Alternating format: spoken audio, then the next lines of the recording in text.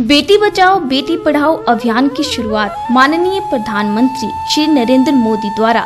बेटी की आस में बेटी की बलि मत चढ़ाइए।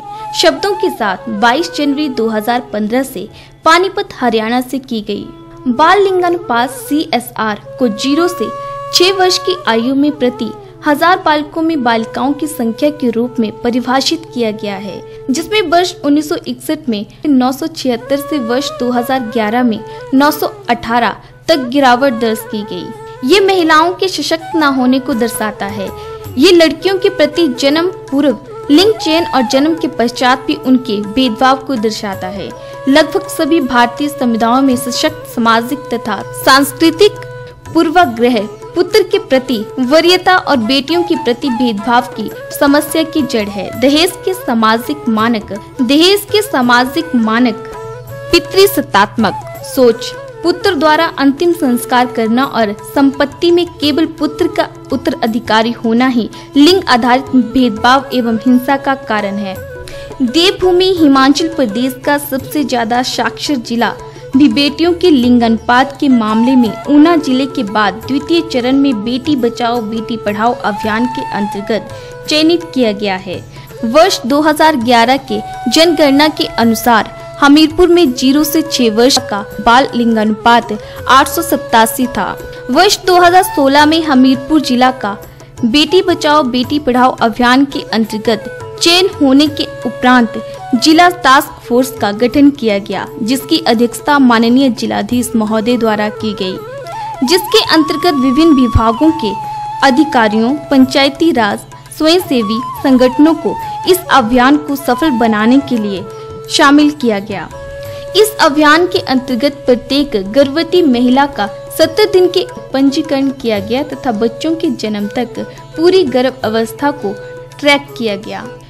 दूसरी बेटी पर व ज़्यादा बेटियाँ पैदा होने वाले परिवारों पर विशेष नज़र रखी गई, तथा उनके लगातार काउंसलिंग की गई।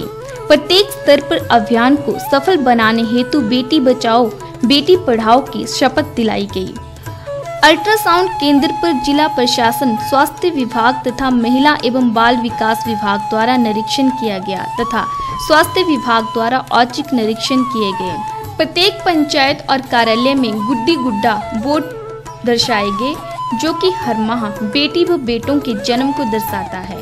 समाज में सकारात्मक संदेश देने हेतु प्रत्येक पंचायत में बेटियों के जन्मों उत्सव मनाए गए तथा जिलाधीश द्वारा बधाई संदेश देकर बेटियों के परिवारों को सम्मानित किया गया। हम लक्ष्मी की क्या कर रहे हैं? ऑलमोस्ट पूजा कर रहे हैं। हमारे घर में लक्ष्मी आई है, खुशियाँ लाई है, इससे बड़ी सौगात कुछ और हो नहीं सकती पंचायत ने यहाँ पे एक बड़ा अच्छा कार्यक्रम प्रस्तुत किया। आप महिलाओं ने अच्छा प्रदर्शन किया। एक खुशी ज़ाहिर की, बहुत खुशी की बात है। मैं आपको ये बताना चाहता हूँ कि भारत सरकार ने जब इस स्कीम को चलाया था, उन सौ जिलों में चलाया था जहाँ पे लड़कियों की संख्या लड़कों के मुकाबले बहुत कम थी। उसके बाद जब वहाँ पे थोड़ी सी स्थिति में सुधार हुआ, उसके बाद छियासठ ज़िले सरकार ने और चुने। उन छियासठ जिलों में हमीरपुर का नाम भी आया। ये हमारे लिए बहुत खुशी की बात तो नहीं है। क्यों आया हमारे ज़िले का नाम? क्योंकि हमारे यहाँ भी लड़कियों की संख्या लड़कों से कम होती जा रही थी। तथा पौधारोपण भी किया गया।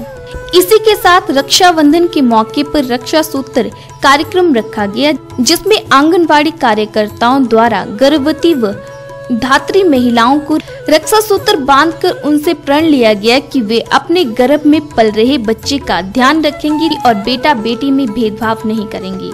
जिला स्तर पर पंचायत व आंगनबाड़ी कार्यकर्ताओं, आशा वर्कर्स को अच्छे लिंगानुपात के लिए सम्मानित किया गया।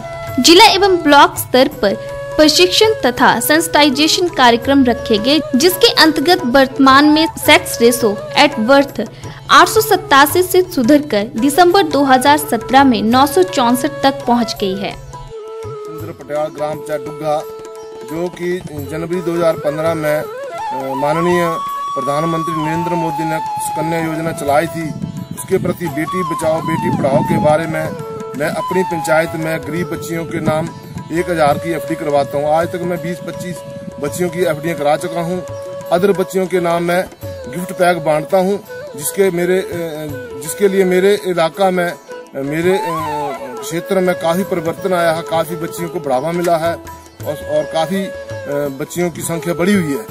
तो इस बेटी बचाओ बेटी पढ़ाओ के बारे में प्रधानमंत्री नरेंद्र मोदी जी का बहुत आभारी हूँ धन्यवाद हूँ जय राम प्रधानमंत्री मोदी जी ने राष्ट्रीय स्तर पर बेटी बचाओ बेटी पढ़ाओ अभियान चलाया है।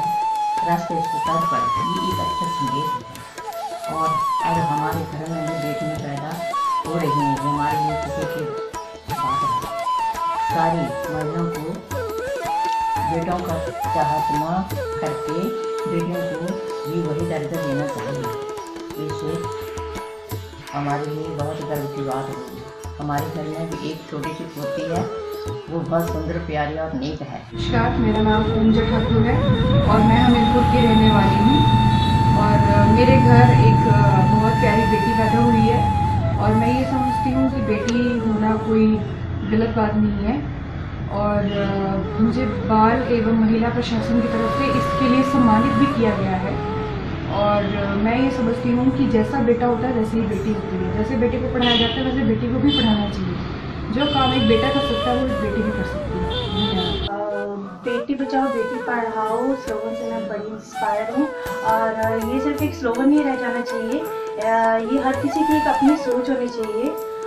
क्योंकि बेटी जो है वो हर रिश्ते को बखूबी निभाती है। चाहे वो माँ, दादी, नानी, चाहे वो कोई भी रिश्ता हो, अपने कंफर्ट लेवल से दूर रहकर, अपने कंफर्ट लेवल को छोड़कर, वो अपने परिवार की खुशी को पहले रखती है। और वो कोई काम नहीं है जो बेटा कर सकता है बेटी नहीं कर सकती। बेटों की तरह ही बेटियों को हमें प्रेरित करना चाहिए, उन्हें हमें अच्छी शिक्षा देनी चाहिए ताकि वो हमारा नाम रोशन करें। और कल्पना चावला, सुषमा स्वराज, सिंधु सानी मिर्ज़ा जैसे हमारे काफ़ी उदाहरण है हमारे पास, जिन्होंने हमारा नाम हमारे देश का नाम रोशन किया है। अगर इनके पेरेंट्स इनका सपोर्ट नहीं करते तो हमारे देश का नाम इतना रोशन नहीं हो पाता।